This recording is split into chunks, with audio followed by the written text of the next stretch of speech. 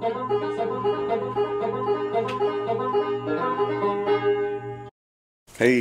lucky enough to be in the shop today. Working on a couple of injection pumps. Got this uh, inline pump together.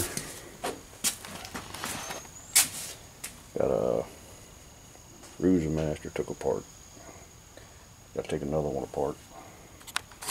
Trying not to get the parts mixed up. That's what most of the parts look like in your uh, Master rotary pump when you get them apart. It's a pretty simple thing. Ain't much to it. I don't have it completely apart either uh, in here. But uh, it's a preliminary disassemble.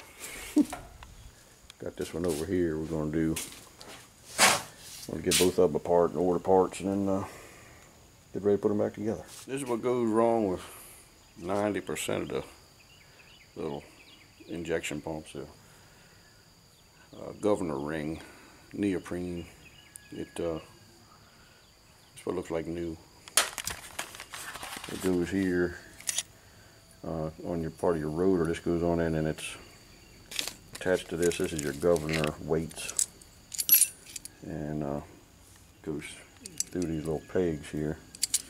Um, it, ah, it gets uh, real brittle and uh, dries and turns black and just disintegrates and makes a bunch of debris in your pump. This is the old one here. Uh, the diesel fuel they make nowadays is really hard on them. So they make an upgrade kit uh, it's kind of a in a sealed unit. I'll show you what that looks like. It's a little more expensive, but it'll save you having to get your pump rebuilt in a year and a half. anyway. Well, I guess I'll get to getting this apart.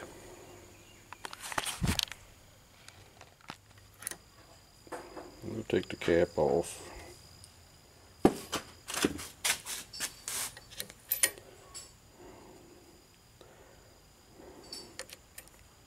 You see all that that black stuff down there that's the uh,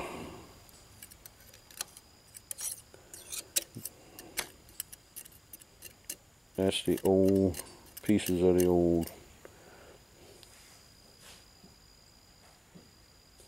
pieces of the old governor ring there. And what it does is all them little pieces will go up and plug up this is a ball valve inside here your return line and it'll won't let the fuel flow through it it'll make too much pressure in your pump. And for some reason this pump cannot pump fuel when it's got too much pressure in it that's why when that goes bad when the governor ring goes bad and plugs up that your tractor or your machine your engine will run for a minute or two and then stop and you let it sit a while and then it'll restart and run for a little bit.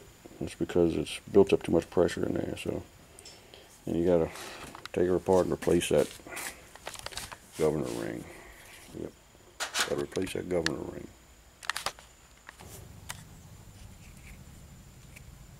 That thing in there is the real booger to get out. You can't really see it too good, but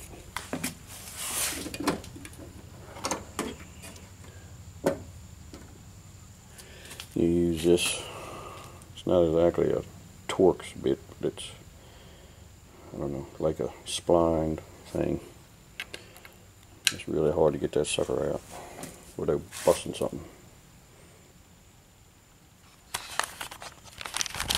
It didn't used to be until they changed to diesel fuel. Instead of being a lubricant it's a corrosive. What one of my that's how one of my viewers put it. He put it well.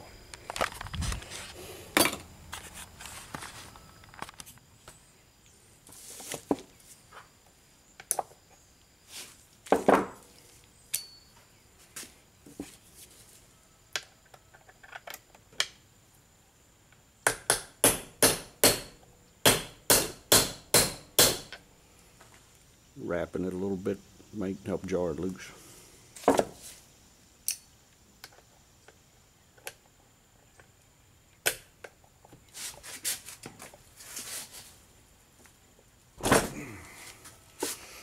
We're lucky it got loose.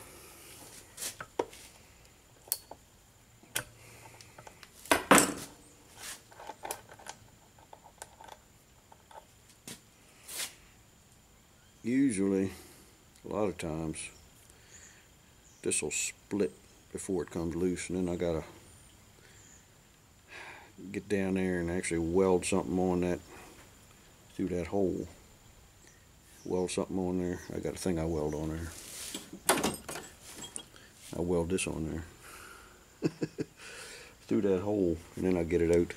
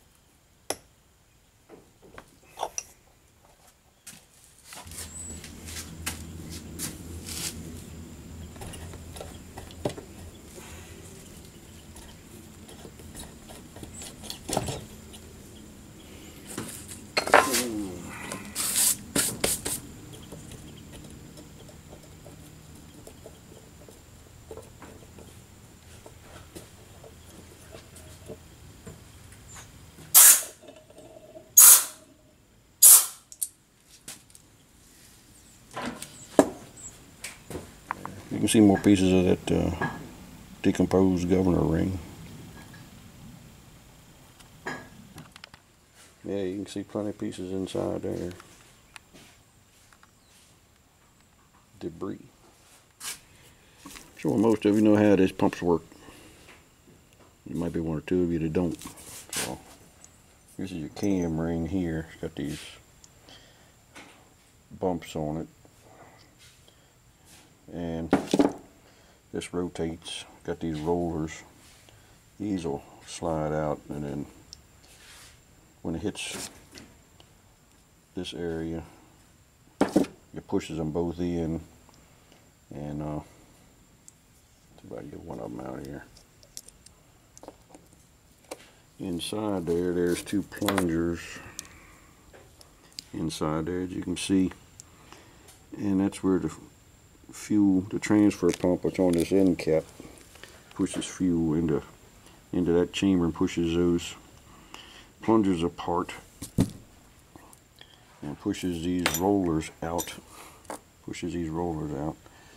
And then as it rotates it hits these and that pushes them in and it pushes the plungers in and that's how uh, the fuel is is pumped. It's forced at really high pressure into the line and through your line to your injector. Now, the uh, you also have a rotor distributing it. This rotor goes around inside there and lines up with the holes that are where the injector lines hook up to and the the ports should be lined up when these squeeze in so that the high pressure fuel can come through whatever line is lined up and go to your cylinder. But you all already knew all that, I'm sure.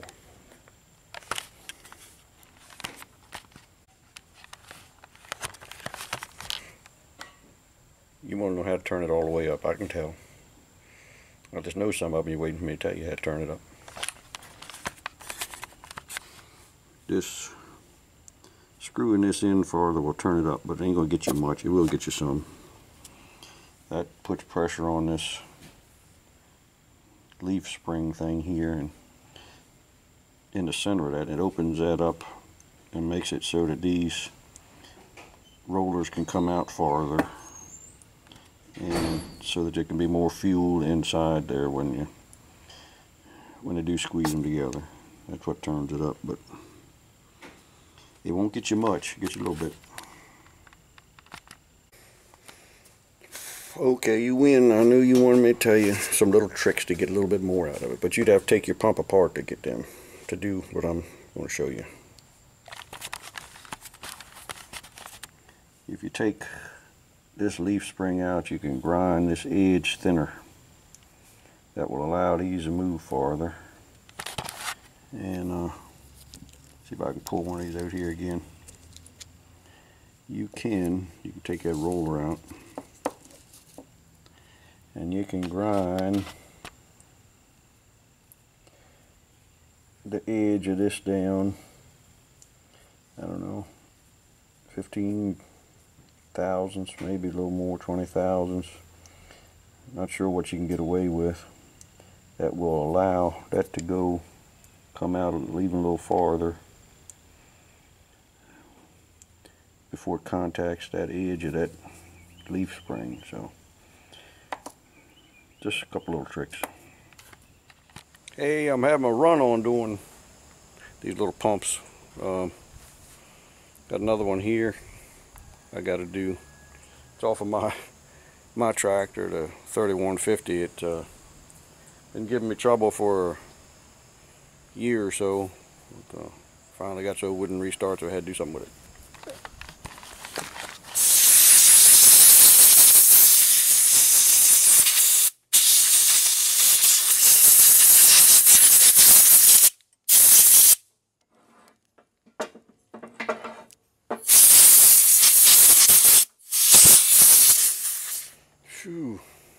We're gonna have some hot sunny weather, so I'm gonna go cut some hay down. Some cow hay. I'll catch up with you later. I'm gonna put some of my homemade fuel in the 4030. Maybe it'll keep the uh, tank from rusting so quick. You'll see.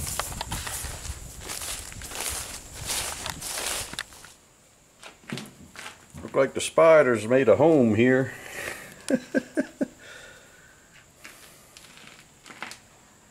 been that long since I run it. Got a good crop of spiders.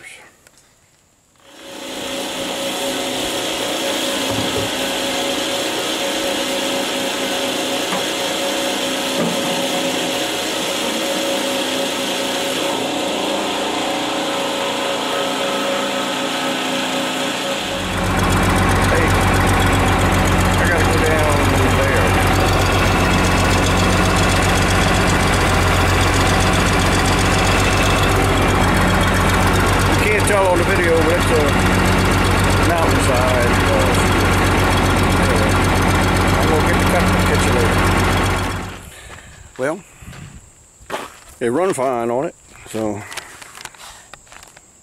got everything cut down down there. I'm just gonna keep on running on this uh, good home brewed stuff. I think that's the way to go. Hey, it's time for another episode of He-Man's Helpful Hints. We're having some company over this weekend and uh, so now it's time to finally getting around to do that painting your wife has been after you do for about the last five years.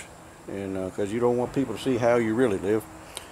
But uh, don't waste your time scraping paint with the old time way with the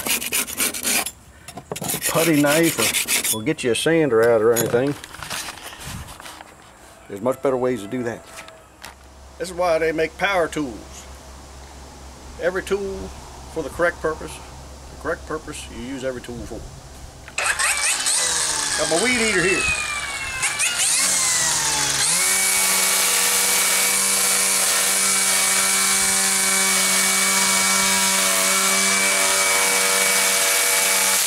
Clean, clean as a whistle.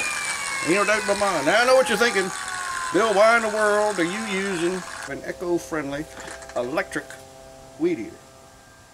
Well, I, I have seven or eight gas-powered ones. But after three hours of pulling the ripcord and not getting a sputter, I finally broke down and got me one of these.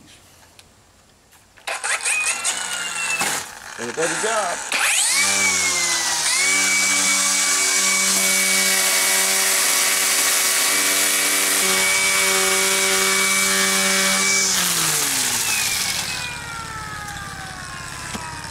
One hint though,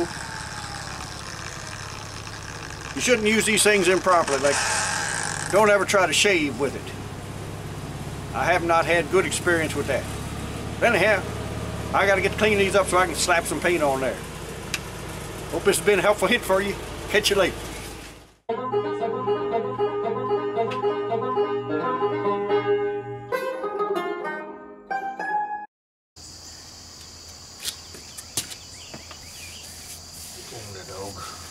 Billet, on. Go on, Billet. You ain't helping none.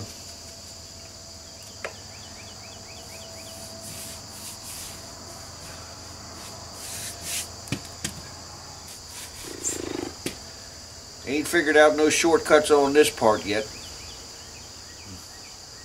I'm working on it though.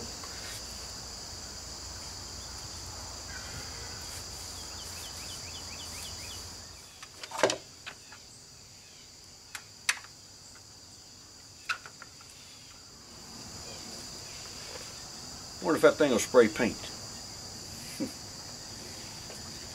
Worth a try.